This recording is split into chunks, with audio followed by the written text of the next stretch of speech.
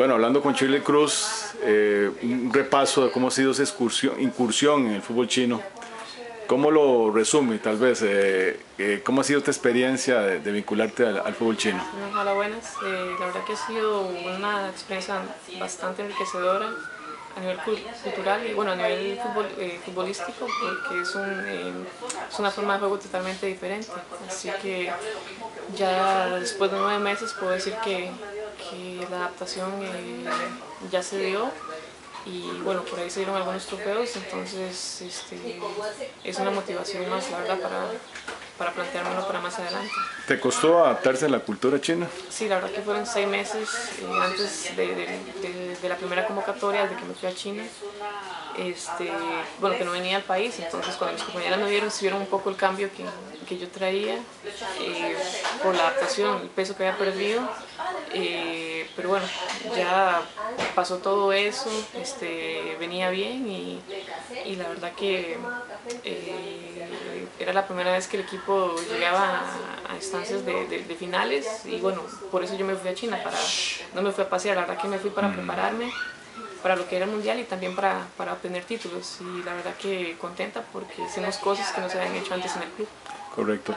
Eh, si hablas de, de, cosas de la cultura china específicamente, por ejemplo, no sé, la, la comida, eh, la comunicación, eh, ¿cómo, cómo, ¿cómo, te manejaste con eso? Sí, bueno, la comida la verdad que fue lo más, lo, en lo que menos pensé y eso es lo que más me ha afectado. Eh, pero bueno, poco a poco uno se va adaptando, la verdad que ya, ya, ya, ya me adapté en el sentido de que eh, yo me llevo mis cositas, o sea, lo que yo puedo hacer de mi parte yo lo hago yo lo hago, yo, yo lo hago yo misma. Uh -huh. Eh, con el idioma la verdad que, bueno, por más que haya un traductor, eh, es bastante complicado. -huh. bueno, hablo francés y esa es la parte más fácil con el entrenador. Y lo que sí es fuera, o sea, fuera, fuera del contexto de fútbol, que es para ir a hacer las compras, que tengo que andar con el teléfono, eh, con una aplicación traduciendo todo uh -huh. y a veces ni con la aplicación me entienden, entonces es un poco entre señas, eh, la verdad que me ha tocado una experiencia bastante yeah. divertida en ese sentido, pero bueno, ya pasé la etapa también de frustración, de que la gente no me entienda y bueno, ahí trato de ver cómo hago para comunicarme con ellos, entonces ya, ya, ya le agarré la parte divertida, la adaptación. ¿Algunas palabritas aprendiste? No, no.